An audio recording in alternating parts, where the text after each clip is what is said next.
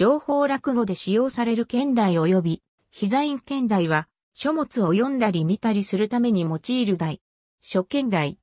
また方角など日本の伝統芸能において、台本や譜面を見るために使用する題。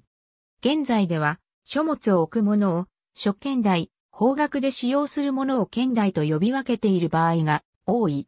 また、仏具の一種。方角で用いる現代の形態は多様である。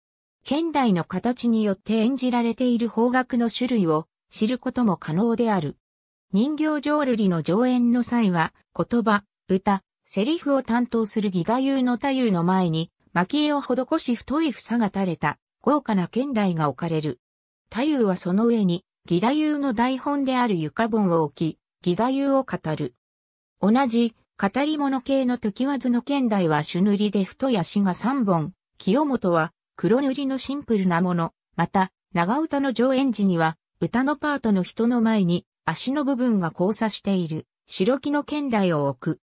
このように、語り、歌の場合は上演の際に必ず剣台を用いるのが、しきたりとなっていることが多いが、方楽器を演奏する際に譜面台として用いるのは、稽古の場合が主で、上演時に使用することは基本的にないと言ってよい。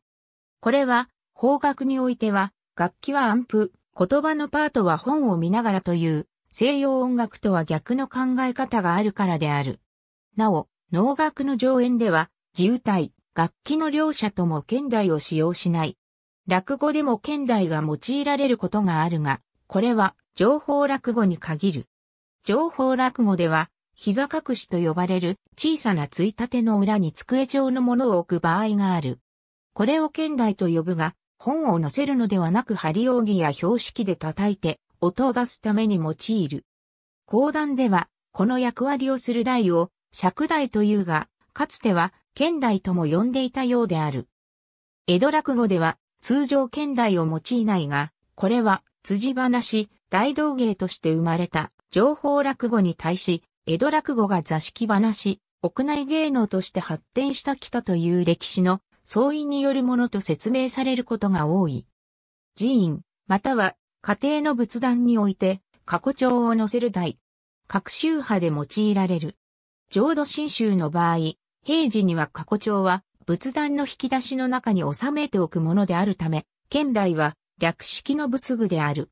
しかし、命日を確認する際に便利であり、仏壇内の下段に現代を置き、過去帳を収めておくことも容認されている。ありがとうございます。